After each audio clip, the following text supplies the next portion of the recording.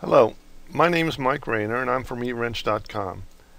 This video is about how to connect, configure, and boot a Raspberry Pi computer to the graphical user interface. Of course, one of the things you already have to have done is to have the Raspbian Wheezy operating system installed to an SD card.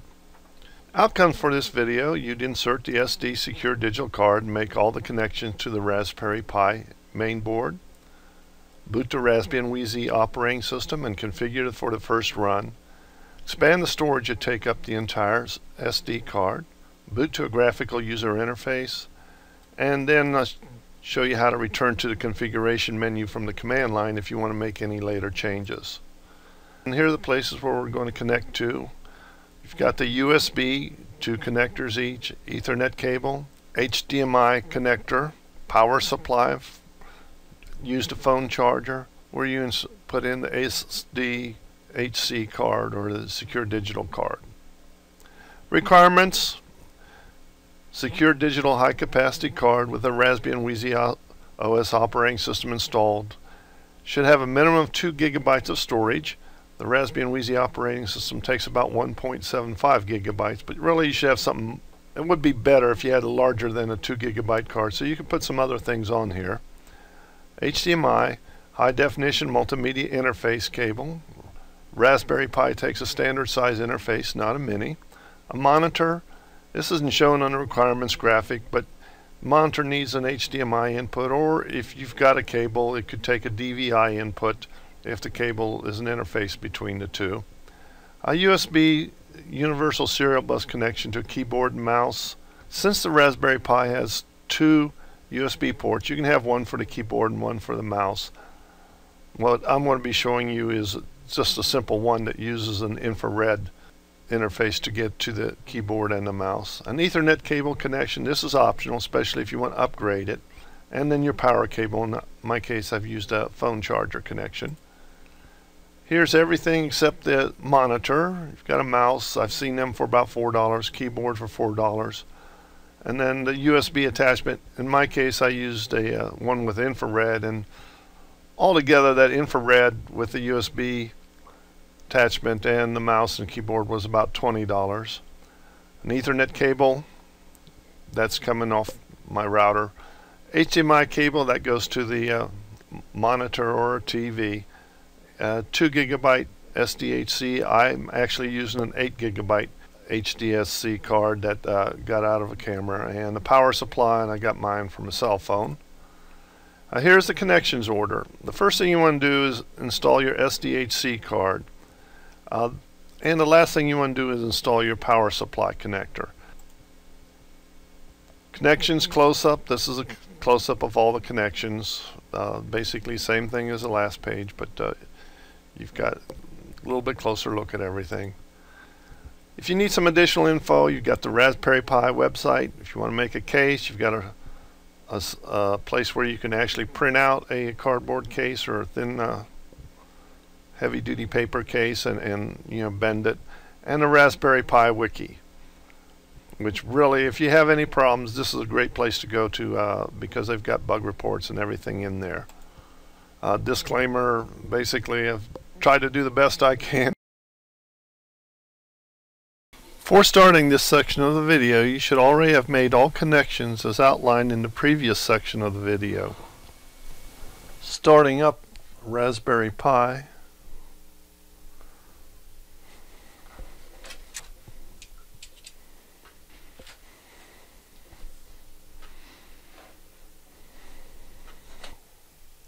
setting up and trying to configure itself. Goes into configure configuration setting, raspi config. So the first thing we're going to do is expand the root FS. Basically, when the operating system was installed on the SD card, only 2 gigabyte of an 8 gigabyte card was filled up or uh, partitioned or even formatted.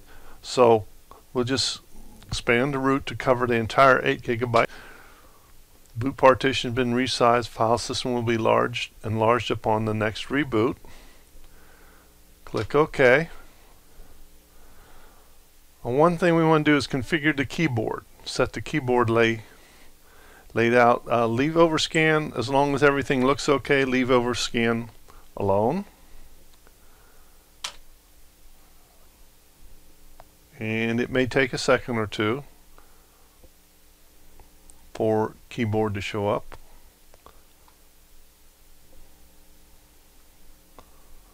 Okay, here we have generic 105 keyboard. Again, I'm going to hit this enter and it may take a second or two. This one, this time it happened real quickly. So you notice it says English. If you are in England, you're okay. But if you're not in England, like this computer's in the United States, so I'm going to have to look for a uh, United States one. So we got English US down here, and that's what I'm going to pick. And we've got all kinds of English US, and I'm going to just pick the English US plain. Click OK. And just pick the default. You're going to have to make whatever decision that you want whenever, you know, wherever, depending on wherever you are at. The compose key all cause the computer to interpret the next few keystrokes of the combination order to produce a character not found on the keyboard. I'm going to have no compose key and then I'm going to choose control alt backspace as a way to terminate the X server and just use a tab to go to the yes, click enter, and it might take a second or two to uh, reconfigure. And so now we've got the keyboard reconfigured.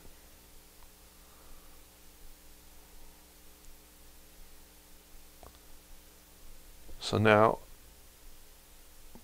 you can change a password if you want. The first user is Pi, P-I, and the password is Raspberry, R-A-S-P-B-E-R-R-Y, all in lowercase. But I'm going to leave that alone. Set the locale. Going to leave that alone, but I am going to change the time zone. There's no clock on the Raspberry Pi, but it does pull uh, time off the internet. And I'm going to pick, you know, where I'm at, U.S and Eastern.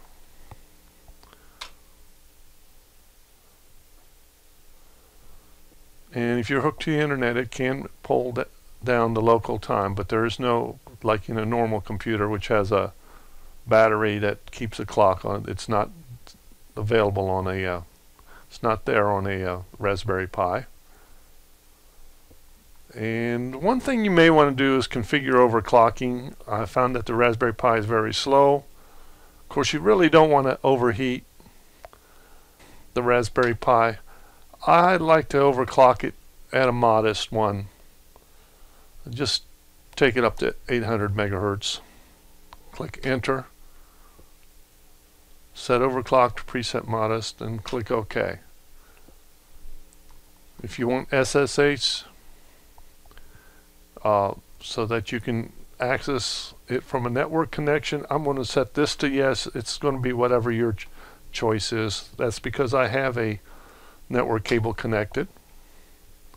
One of the things when you first start up, you to get to the GUI, you don't want to use the SSH. You want to actually uh, when you start your de desktop on the boot, or you actually want to start, you actually want to start the desktop and make, I'm sorry, make sure that your Raspberry Pi is connected to a monitor of some kind, and this gets your desktop settings. If it's not connected to a monitor when you first start it, it's possible that your desktop settings after a while you would connect to monitor uh, is not going to be uh, accurate or uh, it may not look the way you want it. Uh, I've had to do resettings on these. And also update, you can try and upgrade, update. I'm just going to leave the upgrade and updates out. You, that's dependent on a network connection. You can also do this from the uh, command line sudo apt get update and sudo apt get upgrade. I'm going to start the desktop on the boot. And should we boot straight to desktop? I'm just going to click yes.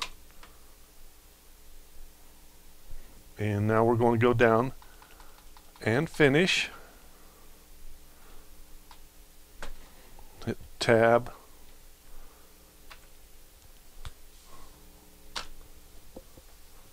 And we should boot to the desktop. Subsequent boots uh, should be a little bit quicker than this.